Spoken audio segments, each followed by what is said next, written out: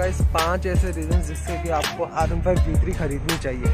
तो गाइस पहला जो रीज़न है इसका जो है माइलेज क्योंकि इसमें आप लोगों को 45 से 50 के अंदर आप लोगों को माइलेज आराम से मिल जाएगा। एंड गाइस सेकंड जो चीज़ है इसका जो लुक्स है ये 150 सीसी के हिसाब से इसका लुक्स जो है 10 आउट ऑफ़ 10 है। किसी भी एक डेढ़ सौ सी की बाइक आप लोग ले लो। ये उन सबसे काफ़ी ज़्यादा अच्छी दिखती है। थर्ड पॉइंट जो है वो है इसका लो मेंटेनेंस क्योंकि आप लोग अगर इसको सर्विसिंग के लिए लेके जाओगे सो ये आप लोगों को 800 के अंदर इसका सर्विसिंग आराम से हो जाएगा।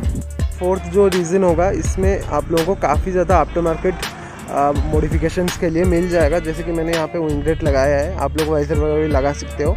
ठीक है, काफ़ी ज़्यादा इसमें आप लोगों को आफ्टर मार्केट चीज़ें मिल जाएँगी। गाइस फिफ्थ जो सबसे इम्पोर्टेंट मैं बोलूँगा कि इस गाड़ी में आप लोगों को इंजन जो है, सबको पता है कि यामाहा का इंजन काफ़ी ज़्यादा अच्छा होता है। इस गाड़ी में आप लोगों को सबसे बढ़िया इंजन 150 के हिसाब से 150 सीसी के हिसाब से सबसे बढ़िया और रिलायबल इंजन मिल जाएगा।